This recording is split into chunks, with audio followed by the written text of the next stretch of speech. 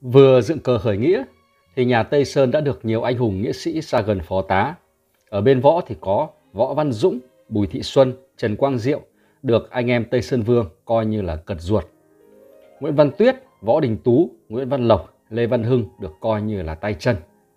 Nhưng Huy và Tứ Linh là hai tay lục lâm mới quy thuận, lòng dạ chưa lường được nhưng mà do võ nghệ cao cường nên vẫn được trọng dụng. Tất cả đều là tướng tài, mỗi người có một môn sở trường vô địch. Võ Văn Dũng là người phôn ờ, Phú Phong, huyện Tuy Viễn, Bình Khê, nhà rất giàu. Rước thầy về học văn, học võ từ nhỏ đến lớn. Học văn thì tối dạ lắm, nhưng mà còn học võ thì dạy đâu nhớ đó, mỗi năm phải rước một thầy mới để thay. Đến năm 20 tuổi thì theo người buôn ngựa vào Phú Yên. Duyên may gặp được lão trượng họ Lương, dòng dõi Lương Văn Chánh ở Tuy Hòa, dạy cho môn trường kiếm và môn đoản đao, dạy cách đánh trên đất, cách đánh trên ngựa, lúc dùng một món, lúc dùng cả đôi. Về nhà Võ Văn Dũng tập luyện ngót 5 năm trời mới thành thục. Nhớ lời thầy dặn học võ là để phòng thân và dẹp nỗi bất bình khi gặp, chứ không phải là đấu sức khoe tài, võ giấu kín nghề riêng. Cho nên ngoài Nguyễn Nhạc là bạn cố giao, khách võ lâm không ai biết là võ là thuộc hàng cao thủ. Nữ tướng Bùi Thị Xuân là con của Bùi Đắc Chí gọi Bùi Đắc Tuyên bằng chú, người thôn Xuân Hòa, một thôn nằm ở phía đông Phú Phong. Vừa có sức mạnh vừa có sắc đẹp, nữ công khéo, chữ viết đẹp, nhưng mà lại thích làm con trai, thích múa kiếm đi quyền. Nghe kể chuyện bà Trưng, bà Triệu cưỡi voi đánh giặc, Bùi Thị Xuân náo nức muốn được theo gương bà Triệu, bà Trưng. Còn những chuyện Tô Tiểu Muội cùng chồng Sướng Họa hay là chuyện bà Mạnh Quang cửa án Tề Mi thì Bùi Thị Xuân lại cho là nhảm nhí. Lúc nhỏ đi học thì thường mặc áo con trai, lớn lên thì tự chế các kiểu áo nữ hiệp vẽ trong sách mà mặc. Cha mẹ chiều con không à, nỡ lời trách cứ. Thế còn tiếng chê khen của người ngoài thì Bùi Thị Xuân không bận tâm. Năm 12 tuổi, Bùi Thị Xuân đến trường học chữ. Một hôm anh em diễu cợt ra cho nhau câu đối. Ngoài trai trong gái, dưa cải dưa môn, có người đói. Đối là đứng xuân ngồi thung, lá vông lá chóc rồi vỗ tay cười ầm lên. Bùi Thị Xuân cả thẹn, vùng quyền đánh vào mặt hai người sinh sự rồi trở về nhà, từ đấy bỏ học chữ ở nhà chuyên học võ. Trước kia thì không biết Bùi Thị Xuân học võ với ai và học vào lúc nào. Nhưng mà từ khi bỏ học văn thì đêm đêm có một bà lão đến dạy. Dạy từ đầu hôm đến gà gáy lần thứ nhất thì bà lão lui gót. Không ai hiểu lai lịch ra sao. Suốt ba năm trời, trừ những khi mưa gió, đêm nào bà lão cũng đến. Cũng đi đúng giờ giấc, dạy quyền, dạy song kiếm, rồi dạy cách nhảy cao nhảy xa. Nhảy cao thì cột hai bao cát nơi chân mà nhảy, ban đầu bao nhỏ, rồi đổi bao to dần, cuối cùng mới nhảy chân không. Còn nhảy xa thì ban đầu dùng xào, sau dùng che tươi ngoài bụi, níu đọt uống cong xuống thấp, rồi nương theo sức bung của cây mà nhảy. Đêm học, ngày tập, đến năm 15 tuổi thì tài nghệ đã rất là điêu luyện. Một hôm thì bà lão đến, cầm tay Bùi Thị Xuân khóc và nói, ta có duyên cùng con chỉ bấy nhiêu thôi, đêm nay ta đến từ biệt con. Bùi Thị Xuân khóc theo và nài nỉ, xin cho biết danh tính và quê quán. Bà lão đáp, ta ở gần đây, trong ba hôm nữa con sẽ biết tin tức, nhưng con phải giữ bí mật, nói rồi vụt một cái biến mất. Ba hôm sau, ở thôn An Vinh có một đám ma của một bà lão. Bà lão nhà nghèo quá bụa sống với vợ chồng người con gái làm nghề nông. Khi Bùi Thị Xuân được tin tìm đến thì việc chôn cất đã xong. Biết bà lão đây chính là thầy mình, nhưng mà nhớ lời thầy dặn chỉ điếu tang như một người thường. Về nhà mới đợi lúc khuya vắng, thiết đã hương án nơi vườn dạy võ mà thành phục nhưng mà chỉ để tâm tang. Từ đấy thì Bùi Thị Xuân một mình tự luyện tập. Một hôm Bùi Thị Xuân ở ngoài về, tình cờ thấy đứa ở gái dùng hai chiếc đũa bếp làm kiếm múa múa đúng bài bản phép tắc. Bùi Thị Xuân giật mình. Té ra cô ả ngày ngày thấy tiểu chủ múa kiếm bắt trước múa theo, lâu dần thành quen tay. Đợi cô ả múa hết bài, Bùi Thị Xuân chạy đến ôm trầm và khen là em giỏi, em giỏi lắm. Từ đấy thì cho cô ả dùng gươm thật mà tập. Lại rủ chị em trong xóm ai muốn học võ học kiếm thì ban đêm rảnh việc đến nhà, Bùi Thị Xuân dạy cho. Không mấy lúc mà nhà họ Bùi trở thành trường dạy võ. Đệ tử từ năm ba người trong xóm vụt nhảy lên thành hàng chục, hàng vài ba chục. Một số người tuy đã có con, tay dắt tay bồng mà cũng đến xin học. Tài nghệ đã tinh mà cách đối xử, cách dạy dỗ lại đứng đắn, nên Bùi Thị Xuân được chị em kính yêu quý trọng. Trong số đệ tử xuất sắc có bà Bùi Thị Nhạn. Một phú ông họ Đinh ở Lai Nghi để đền ơn dạy con gái mới tặng Bùi Thị Xuân một con ngựa trắng toàn sắc mới tập kiều, vóc to, sức mạnh, chạy hay. Bùi Thị Xuân tập cho ngựa trở thành một chiến mã, chạy suốt buổi không đổ mồ hôi. Lại một hôm, lên chợ Phú Phong, Bùi Thị Xuân thấy hai thớt voi đứng ăn chuối cây, chung quanh người vây đông đúc. Bùi Thị Xuân chen đến gần, voi lấy vòi cạ lên lưng, lên vai, có vẻ chiều mến. Bùi Thị Xuân xin cưỡi thử, voi co một chân trước cho Bùi Thị Xuân leo lên cổ, rồi đi tới đi lui theo sự điều khiển của Bùi. Hết thớt này đến thớt kia, Bùi Thị Xuân nhận thấy rằng là điều khiển voi còn có phần dễ hơn điều khiển ngựa. Từ đấy thì cái trí muốn làm bà Trưng bà Triệu lúc nhỏ lại trở lại nung nấu tâm hồn. Bùi Thị Xuân lo tập luyện cho mình, cho, cho chị em trong xóm, trong làng. Tiếng đồn đi xa, chị em các làng khác, các huyện khác cũng tìm đến xin thụ giáo. Bùi Thị Xuân lại chỉ ước có tiền mua ngựa, voi cho chị em tập. Gia đình chỉ vào hàng khá giả vừa phải, nên dù thương chiều con cũng không sao có thể làm vui lòng con. Bùi Thị Xuân càng lớn lên càng xinh đẹp, khách dắp danh bán sẻ, ngấp nghé trông sao ở gần có, ở xa có, ngày nào cũng có người đến sân. Nhưng mà phần đông, hễ thấy mặt Bùi Thị Xuân thì run, như là run khi mà thần tử thấy Long Nhan, vì trong vẻ đẹp kiều diễm của Bùi Thị Xuân lại có vẻ uy nghiêm, đôi mắt ngước lên nhìn như đôi lằn điện chiếu. Những chàng trai mà nhát gan ấy thì vừa đến sân đã lùi ra khỏi ngõ, còn những chàng trai có ít nhiều đảm lực thì bước vào thềm. Nhưng mà mới bị hỏi sơ vài câu về võ về văn thì lưỡi tự nhiên cứng lại. Vì vậy mà cho đến 20 tuổi mà Bùi Thị Xuân tay không chân rồi. Thời xưa, con gái 17, 18 tuổi mà chưa có chồng thì cha mẹ rất lấy làm lo. Nhà họ Bùi cũng thế. Một hôm bà mẹ tỏ ý lo ngại cùng con thì Bùi Thị Xuân cười. Bà Trương có chồng, bà Triệu đâu có chồng, nhưng mà ai dám cười chê. Để giúp gia đình mà cũng là để thiết đãi chị em học trò, Bùi Thị Xuân thường đi săn heo, săn nai. Một hôm cùng vài cô học trò đi săn ở vùng núi Thuận Ninh, xảy ra gặp một tráng sĩ đương đánh cùng một mãnh hổ. Tráng sĩ mình đầy máu me, sức đã sắp đuối. Hổ hung hăng chụp vấu. Bùi Thị Xuân hét lên một tiếng, rút song kiếm sát vào cứu tráng sĩ. Hổ bỏ tráng sĩ đánh cùng Bùi Thị Xuân. Hổ đã nhanh, tránh khỏi những nhát kiếm hiểm độc. Nhưng mà Bùi Thị Xuân lại càng nhanh hơn, tránh khỏi những cái vồ như bão như chớp khiến mấy phen hổ chụp hụt bị té nhào. Hổ cự địch với tráng sĩ đã lâu, sức đã mỏi nên động tác chậm dần. Cuối cùng bị một nhát kiếm vào vai gầm lên một tiếng rồi bỏ chạy. Bùi Thị Xuân trở lại băng bó cho tráng sĩ. Lúc đấy thì mới hỏi tên, tráng sĩ mới đáp rằng tên là Trần Quang Diệu. Để nói về Trần Quang Diệu thì ông quê quán ở Ân Tín, huyện Hoài Ân, nhà giàu nhưng mà mồ côi sớm, thân tự lập thân. Lúc nhỏ thì Trần học văn học võ nhiều thầy, lớn lên một hôm vào dãy núi Kim Sơn để tìm kiếm thịt, tình cờ thấy một ông lão nằm đùa giỡn cùng một con cọp to lớn. Hổ trông thấy Trần thì nhảy đến vồ, Trần tránh khỏi, hổ vô tiếp, ông lão liền hét, hổ dại nhé. Hổ liền ngoan ngoãn trở lại cùng ông lão. Ông lão gọi ờ, Trần đến gần lại hỏi, người là ai? Chẳng biết nơi này có ổ cọp sao mà dám đưa thân tới. Trần mới thật thà kể hết gia cảnh và thân phận, đoạn lại ông lão xin cho mình làm học trò. Ông lão đáp, Âu cũng là duyên. Rồi bảo Trần về thu xếp việc nhà rồi trở lên. Trần về giao nhà cửa ruộng nương cho người em thúc bá và dặn ta đi chuyến này, mau thì 5 năm, lâu thì 10 năm mới về. Ở nhà lo làm ăn tử tế, đừng tìm hiểu ta đi đâu và đi có việc gì. Lên Kim Sơn thì Trần được lão nhân đưa về nhà nuôi dạy. Lão nhân là ai? Thì lão họ Diệp tên là Đình Tòng, người thôn Vĩnh Thạnh, huyện Tuy Viễn, Bình Khê. Lúc tráng niên đã xuống tay giết chết tên tri huyện tham mô thời chúa Nguyễn Phúc Khoát. Bị truy nã thì lão đem vợ con theo đường núi ra Kim Sơn lánh nạn. Trên 20 năm trời không ai biết tung tích. Vợ con không chịu nổi Lam Sơn chư khí lần lượt qua đời hết. Chỉ còn mình cụ sống với hùm Bèo. Gặp được họ Trần thì là cụ vô cùng hoan hỉ. Hai thầy trò sống trong ba gian nhà tranh rộng rãi sạch sẽ, có đủ đồ cần dùng cho một gia đình nho nhỏ, lại có đủ năm món vũ khí, đao, kiếm, côn, thương cung, mỗi thứ một cặp. Thứ nào cũng được lau chùi bóng nhoáng, nhưng mà Trần chỉ học môn đại đao.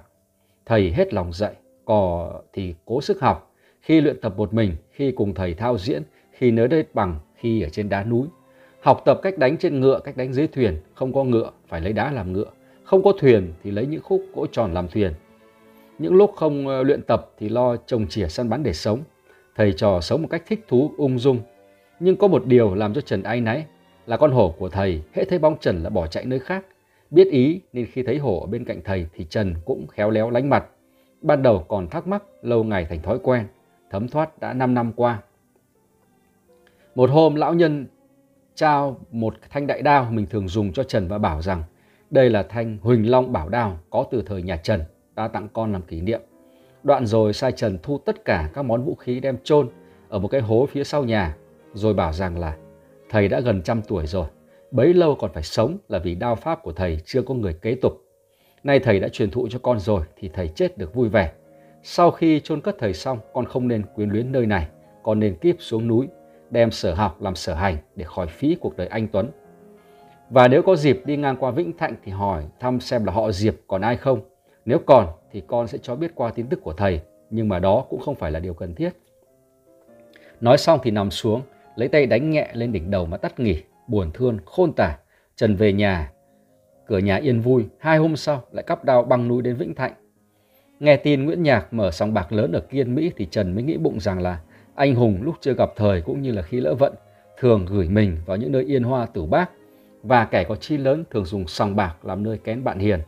Liền tìm đến gặp Nguyễn Nhạc, Nhạc nhất kiến như cựu. Từ đấy, hai bên thường qua lại với nhau. Hôm mà Trần gặp Cọp ở Thuận Ninh là một trong những hôm Trần và Hoài Ân vào Kiên Mỹ để gặp gỡ Nguyễn Nhạc. Hôm ấy thì Trần không mang đao theo, đánh tay không với Cọp từ sáng đến trưa, Trần bị đuối sức nên mới bị thương. Nếu không gặp Bùi Thị Xuân thì e khó giữ toàn mạng. Thoát chết thì Trần yêu cầu đưa về Kiên Mỹ, nhà Nguyễn Nhạc. Nguyễn Nhạc và Bùi Thị Xuân vốn đã từng nghe tiếng nhau nhưng mà chưa có dịp làm quen.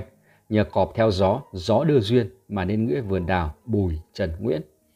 Rồi để cho nghĩa thêm nặng, tình thêm thâm, Nguyễn Nhạc đứng ra làm mai và làm luôn chủ hôn để Trần Quang Diệu và Bùi Thị Xuân nên đôi, nên lứa. Lại nói về Nguyễn Văn Tuyết, người xã Nhân Ân, huyện An Nhơn, lúc nhỏ có sức mạnh, đánh lộn giỏi, tụ tập kẻ vô lại ở chợ Gò Tràm và được tôn làm đầu nậu. Những kẻ mãi võ đến chợ phải đến ra mắt Tuyết rồi mới được hành nghề. Một hôm thì một ông già, đầu dâu như bông vải vừa bắn xong, cùng hai cô gái mặt mày đẹp đẽ đến chợ mãi võ. Ông già không theo lệ cũ, vừa đến liền khua chiên khai diễn. Cô gái nhỏ múa kiếm vun vút, khí lạnh rợn người. Người đến xem đông như kiến và tiếng hoan hô dậy trời. Nguyễn Văn Tuyết hay tin đùng đùng nổi giận liền kéo 10 tên thủ hạ đến vấn tội ông già. Ông già hỏi không thèm đáp, đánh không thèm đỡ, đứng chơ chơ đó như một pho tượng trời chồng. Tuyết thất kinh bỏ về nhà tìm cách rửa hận. Do biết ông già và hai người con gái trọ ở nơi miếu thổ địa ở sau chợ, Tuyết mới đợi đêm khuya dắt kiếm nhảy tường vào miếu. Lúc ấy thì bốn bể im phăng phắc. Hai cô gái ngủ say, ông già nằm ngáy như sấm, Tuyết khẽ lén đến gần, rút kiếm đâm vào cổ. Kiếm gãy kêu răng rắc, Tuyết hết hồn bỏ chạy. Ông già níu lại, Tuyết mới run sợ quỳ xuống chịu tội. Ông già ngồi dậy nói, nhà người tư chất thông minh lại có sức mạnh xuất chúng, sao không lo rèn võ luyện văn để chờ cơ hội ra giúp nước mà lại đắm mình trong vũng bùn nhơ. Tuyết lại thề quyết tâm uh, hối cải và van xin theo làm môn đồ. Ông già họ Trần tên Kim Hùng là một võ sư người thôn Trường Định huyện Tuy Viễn, võ nghệ tuyệt luân nhưng mà người con trai bị mất sớm nên cụ buồn quá dắt hai người cháu đi tìm người xứng đáng để làm người thừa kế. Gặp được Nguyễn Văn Tuyết, Trần Lão rất hài lòng. Lúc này thì Tuyết mới theo Trần Lão ra đi. Sau 5 năm trở về, bọn uh, đồ đảng cũ đến mừng thì Tuyết khuyên nên bỏ nghề cướp bóc. Một hôm võ vương Nguyễn Phúc Khoát Nam tuần đến Quy Nhơn. Nghe đồn chúa Nguyễn có con tuấn mã tên là Xích Kỳ, Tuyết mới đợi đêm khuya lẻn vào hành cung bắt ngựa rồi lên yên chạy thẳng đến vùng An Khê. Trời vừa hưởng sáng thì ngựa đã qua khỏi đèo Vĩnh Viễn. Con Xích Kỳ là cống vật của Cao Miên, chúa rất yêu quý. Ngựa bị mất trộm, tuần phủ Nguyễn Khắc Tuyên bị tội chết, nhờ Trương Phúc Loan ra sức cứu mới được miễn. Tuyên cho người đi tìm khắp Quy Nhơn, Phú Yên, Quảng Ngãi nhưng mà không tìm ra bóng dáng. Khi xa giá chúa Nguyễn trở về Phú Xuân thì trong dinh tuần phủ Quy Nhơn bỗng thấy trên vách để mấy chữ lớn kẻ trộm ngựa chúa là Nguyễn Văn Tuyết ở Tuy Viễn. tuyền xem thấy hết hồn, dặn tả hữu đừng tiết lộ, việc được im. Tuyết sau khi theo thầy học thành tài trở về Tuy Viễn, những mong cứu đồng bào ra khỏi ách chuyên chế của chúa Nguyễn, song không biết làm cách nào đành ôm ấp mộng mà chờ người đồng khí đồng phương. Kịp nghe tin Tây Sơn Vương chiêu mộ hào kiệt, Tuyết liền lên sơn trại đầu quân. Tại đây thì Tuyết gặp lại và kết hôn với cùng cô cháu gái của Trần Sư Phụ là Trần Thị Lan. Còn một người nữa là Nguyễn Văn Lộc, lúc nhỏ nhà nghèo, đi chăn trâu cho một phú nông làng Kỳ Sơn. Học võ lúc nào và với ai thì không ai biết. Một hôm đi chơi về khuya thì bị quân canh bắt trói vào cột đình. Lộc nhặt miếng sành cắt dây trói trốn thoát. Quân canh hơn 10 người đuổi theo đều đều bị đánh ngã không đứng dậy nổi. Trời tối thì Lộc chạy lạc vào cánh đồng lúa chín. Người giữ ruộng ngờ là ăn trộm hô hoáng. Người chung quanh chạy đến vây bắt. Người mỗi lúc một đông, kẻ gậy người gộc. Lộc đánh ngã lớp này thì lớp khác xông đến. Liệu không thể dùng quyền để giải vây được, Lộc bèn giật cây gậy, đánh một đòn chí tử mở đường máu thoát thân. Từ đấy, người địa phương mới biết Nguyễn Văn Lộc là người võ nghệ siêu phàm. Nghe tin Tây Sơn Vương tụ tập quần Anh, Lộc đến xin gia nhập và được tiếp đãi vào hàng Thượng Tân. Còn Võ Đình Tú thì hợp tác cùng Tây Sơn Vương từ thủa ban sơ. Tú con nhà giàu đất Phú Phong, tính can đảm và hào phóng từ lúc bé. Được một nhà sư dạy võ nghệ và binh pháp. Nhà sư thì pháp danh là gì và ở đâu không ai biết, thường đến ngồi trước ngõ họ võ. Nhà sư mặt mày xấu xí, ăn mặc rách rưới. Lũ nhỏ trong xóm hễ trông thấy nhà sư thì kéo nhau đến chào kẹo. Tú bấy giờ mới 14 tuổi. Đối với nhà sư thì lại hết sức lễ phép và thường bưng cơm nước hoặc bánh trái đến cúng giường. nhà sư hoan hỉ mà nhận. Một hôm trời nổi mưa gió, mọi người không dám ra đường, mưa suốt ngày, đêm đến mưa tạnh gió ngừng, nhưng mà trong nhà không thấy Tú đâu cả. Cho người đi tìm khắp nơi, hết ngày này qua ngày khác, vẫn không tìm thấy tung tích. Mà nhà sư từ hôm mưa gió cũng không còn thấy tới lui trong thôn. Người nhà quyết đoán rằng Tú bị nhà sư bắt, đành thắp nhang cầu Phật gia hộ cho Tú mà thôi. Mười năm sau thì Tú trở về, một thanh niên vạm vỡ, sức mạnh nhiêu hùng nhưng mà tính tình chất phác. Mới trông qua không ai biết rằng võ nghệ cao cường. Về nhà, đóng cửa xem sách, trừ Võ Văn Dũng thì cũng không giao du với ai, cũng không lấy vợ. Võ Văn Dũng giới thiệu cùng Tây Sơn Vương, Vương thân hành đến rước. Sau khi về cùng với nhà Tây Sơn thì Tú mới trổ tài, chẳng những côn quyền xuất chúng, bình pháp tinh thông mà còn có tài bắn cung, nhảy cao, cưỡi ngựa. Thường ưa sử dụng thiết côn, trăm người không địch. Bùi Thị Xuân tặng một lá cờ đào thêu bốn chữ vàng thiết côn vô địch. Nguyễn Huệ yêu thương như ruột tệt. Những lúc rảnh rang thường cùng Tú bàn luận về võ nghệ và binh pháp. Còn có Lê Văn Hưng, vốn là một tay cướp nước tiếng ở Kiên Dõng, ngọn roi tuyệt diệu, quất ra một đòn đánh ngã trăm người. Tuy là người ăn cướp, nhưng mà lấy của người giàu chia cho người nghèo nên được nhân dân địa phương rất yêu mến. Hưng có đến vài chục thủ hạ. Ông cấm thủ hạ không được quấy nhiễu đồng bào và Hưng không bao giờ phạm đến tài sản người trong huyện. những vụ đánh cướp do Hưng cầm đầu chỉ xảy ra ở các nơi xa và vụ nào Hưng cũng cầm roi để cản hậu. Đánh người chỉ đánh ngã chứ không đánh chết hoặc gây trọng thương. Nhưng có một lần, đó là lần chót, cướp được một vố to ở Phú Yên. Khổ chủ là một tay giỏi võ, gia nhân lại toàn là lực điền, có đôi miếng võ trong mình. ỷ thị cứ lăn xả và đánh Hưng. Hưng nương tay đã nhiều lần nhưng đối phương không sợ cứ bám sát. Trời đã gần sáng mà đối phương vẫn chưa chịu lui. Hưng đành phải dùng tận lực, khổ chủ bị đánh hộc máu, chết tươi. Các vụ cướp xuông thì nhà cầm quyền cũng không để ý, nhưng vụ này gây ra án mạng, chính quyền không thể bỏ qua. Biết thủ phạm là Hưng, thì tuần phủ Phú Yên hợp lực cùng tuần phủ Quy Nhơn cho truy nã gắt. Hưng đành phải bỏ nhà vào rừng, rồi nhân Tây Sơn Vương bộ binh Hưng bèn nhập ngũ. Nhờ tài nghệ không bao lâu từ cấp lính lên cấp đội, rồi dần dần đến cấp tướng. Lại còn có ông Lý Văn Bưu, còn có tên khác là Mưu, người làng Đại Khoang, huyện Phú Cát, tỉnh Bình Định, nổi danh từ thời niên thiếu, có biệt hiệu là Phi Vân Báo, tức là con beo bay trong mây. Có tài vừa cưỡi ngựa, phi nước đại vừa mua kiếm, phóng lao bắn cung trăm phát trăm trúng. Ngoài ra, ông còn có tài nuôi ngựa chiến. Nhờ địa thế vùng từ Đại Khoang thuận truyền qua Thuận Ninh đất xấu, toàn gò đống, cây dại cùng trà là, sim ổi, mọc chen trúc lẫn với cỏ dại, rất thích hợp cho việc chăn nuôi săn bắn. Nên gia đình ông chuyên nghề nuôi bò ngựa và săn bắn, đồng thời chuyên luyện tập võ nghệ, nghiên cứu chiến trận. Bùi Thị Xuân thường đến khu vực này săn bắn nên quen thân với ông Bưu và học ông cách thức luyện tập ngựa chiến. Khi Tây Sơn khởi nghĩa thì ông Bưu được bà Xuân tiến cử phụ trách chăn nuôi sản xuất tại nông trại Tây Sơn Hạ, kết hợp tổ chức tập luyện đoàn chiến mã và rèn luyện nghĩ binh. Nhờ tài thao lược thì ông được phong chức đô đốc, cầm binh tham gia các trận đánh ở trong Nam và giải phóng thành Thăng Long. Nhưng Huy và Tứ Linh tên thật là gì và quê quán nơi đâu thì không rõ. Làm nghề lục lâm, xào huyệt tại nguồn An Tượng thuộc Tây Sơn Hạ. Nhưng mà chỉ làm ăn từ Phú Yên trở vào. Cả hai đều là tráng lực sĩ, võ thuật cao, song tính tình hung bạo. Tây Sơn Vương dùng với sự rẻ rặt. Đã có từng ấy người tài nhưng mà Tây Sơn Vương nhận thấy chưa đủ nên trải lòng cầu hiền. Hai viên tướng người Tàu là Tập Đình ở Hội An, Lý Tài ở cửa biển Phù Ly đem quân ứng theo Tây Sơn Vương. Quân của Tập Đình gọi là Trung Nghĩa Quân, quân của Lý Tài gọi là Hoa Nghĩa Quân. Quân ở trong hai đội hầu hết là đều là người Tàu to lớn mạnh bạo, khi ra trận uống rượu say, cởi trần, lấy giấy vàng bạc dán cùng mình, cất tiếng hét vang sấn vào tấn công kẻ địch. Tây Sơn Vương đón tiếp nồng hậu và cho vào đóng trong thành chờ dịp tấn công. Kế đó là một tráng sĩ xin vào yết kiến. Tây Sơn Vương cho mời vào thì là Phan Văn Lân, người bạn học cũ. Họ Phan, người ở miền ngoài nhưng không rõ ở phủ huyện nào, võ rất giỏi, tự bảo rằng võ mình được truyền từ Phạm Ngũ Lão đời Trần, thiên hạ vô địch. Nhưng khi vào An Thái yết kiến Trương Văn Hiến thì liền lại xin làm đệ tử. Trước kia họ Phan tự đắc bao nhiêu thì sau khi thọ giáo cùng Trương Công lại khiêm tốn bấy nhiêu. Gặp được bạn cũ thì Tây Sơn Vương hết sức vui mừng mời họ Phan ở ngay trong cung. Phan không chịu, xin ra nơi ở các dinh thự cùng với chư tướng. Một hôm có một nhà sư hình thù cổ quái nghe tiếng tăm của Phan Văn Lân bèn đến xin gặp. Phan tránh mặt, nhưng mà quân sĩ thúc giục Phan giả lính theo thuộc hạ ra xem. Nhưng nhà thư nhìn biết thì thách Phan đấu võ. Nhận thấy nhà sư không phải hâm mộ nghệ thuật muốn làm bạn bốn phương mà là một khách giang hồ bụng đầy ác ý. Phan quyết định trừ khử để tránh mối họa về sau.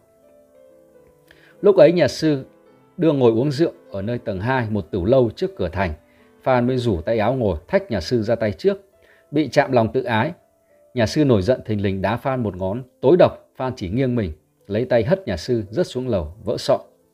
Khi Phan mới đến, ngoài Tây Sơn Vương thì các tướng thấy Phan hiền lành, ai cũng tưởng là kẻ tầm thường. Khi Phan đánh chết nhà sư, mọi người mới biết có tài siêu việt. Tướng sĩ yêu cầu Phan cho xem tài nghệ, Phan nhất định từ chối. Này nỉ quá thì Phan Bảo Dinh ba tảng đá dày chồng lên nhau rồi đưa sống bàn tay phải chém xuống. Ba tảng đá đều vỡ làm đôi như bị lưỡi gươm thần chém đứt. Ai nấy đều gọi là người thần. Nhà sư bị Phan Văn Lân hất xuống Tử Lâu là một người Trung Quốc thuộc phái Thiếu Lâm. Ở chợ Gò Tràm, phía bắc thành Quy Nhơn, còn có một nhà sư nữa, cũng người Tàu thường đến biểu dương võ nghệ, thường cởi áo ngồi ngay ngắn cho người dùng gươm đao chém vào đầu mình tay chân. Chém mạnh mấy cũng không hề gì. Tây Sơn Vương được tin, sợ nhà sư gây biến, muốn trừ nhưng không thể giết được. Lúc này thì Võ Văn Dũng lãnh trách nhiệm trừ nhà sư. Võ Văn Dũng đến chợ Gò Tràm gặp nhà sư dùng lễ khoản đãi. Khi đã nên thân thì Võ hỏi, Hòa thượng là người đã đạt đạo, không biết có khi nào bị lạc thú của Trần gian cám dỗ chăng? Nhà sư mới đáp, lòng ta như cho lạnh, không có gì có thể cám dỗ.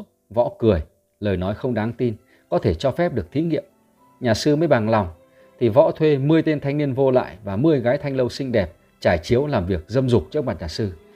Ban đầu nhà sư cười nói như thường, nhưng hồi lâu bỗng nhắm mắt không muốn nhìn nữa. Xuất kỳ bất ý, võ rút kiếm chém một nhát, đầu nhà sư rơi liền tay. Võ nói, nhà sư không có thuật gì lạ đâu. Dày công luyện khí làm cho thân thể cứng rắn, khi tâm định thì khí tụ, tâm động thì khí tan. Lúc ban đầu thì tâm nhà sư không động nên nhà sư dám nhìn tự do. Đến khi nhà sư nhắm mắt thì biết tâm nhà sư đã động rồi cho nên chém xuống không thể kháng cự được. Ai nấy đều phục, võ là cao kiến, Tây Sơn Vương rất hài lòng. Ít lâu sau thì Trần Quang Diệu đưa một tráng sĩ về tiến cử cùng Tây Sơn Vương.